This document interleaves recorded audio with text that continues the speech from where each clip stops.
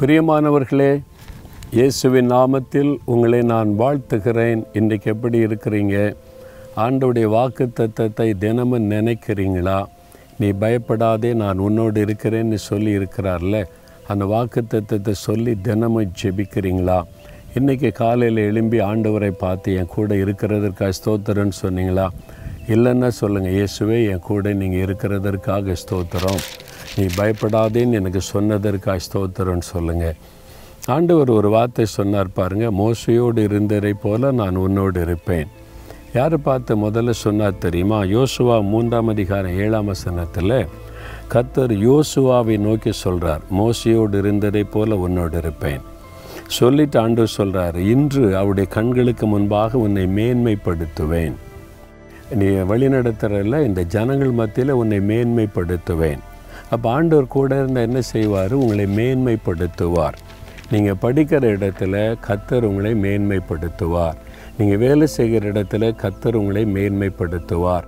நீங்கள் பிஸ்னஸ் செய்கிற உங்களுடைய கிராமம் உங்களுடைய பட்டணம் அந்த பஜாரில் அந்த எல்லையில் உங்களை மேன்மைப்படுத்துவார்.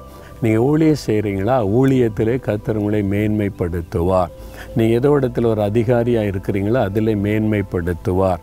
நீங்கள் தொழில் செய்கிறீங்களா அதில் மேன்மைப்படுத்துவார். அதான் சொல்கிறார் ஆண்டவர் வந்து இன்று அவருடைய கண்களுக்கு முன்பாக உன்னை மேன்மைப்படுத்துவேன்.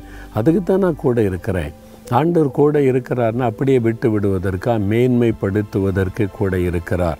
இன்றைக்கு செய்வாராம். இன்றைக்கு. இன்றைக்கு ஏதோ ஒரு காரியம் உங்கள் வாழ்க்கையில் நடக்க போகுது. ஒரு அற்புதம் நடக்க போகிறது. ஒரு உயர்வு வரப்போகிறது உங்களுக்கு ஒரு மேன்மை வரப்போகிறது உங்களை சுற்றியில் இருக்கிற மக்களுடைய கண்களுக்கு முன்பாக உங்களை மேன்மைப்படுத்த போகிறார். இவனுக்கு எப்படி இந்த உயர்வு கிடைச்சிது? இவளுக்கு எப்படி இந்த ஆசிர்வாதம்? இவங்க எப்படி இவ்வளோ மேன்மையாக்கப்பட்டாங்க?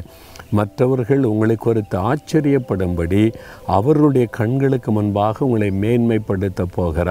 அல்லது உங்களை அற்பமாக நினைக்கிறாங்களா இவெல்லாம் ஒரு ஆளா?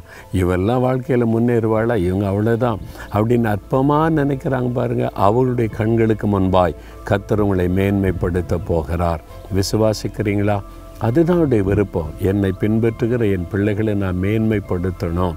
அதுக்கு தான் நான் கூட இருக்கிறேன்னு சொல்கிறார் இன்றைக்கி யோசுவாவை மேன்மைப்படுத்தின ஆண்டவர் உங்களை மேன்மைப்படுத்த போகிறார்.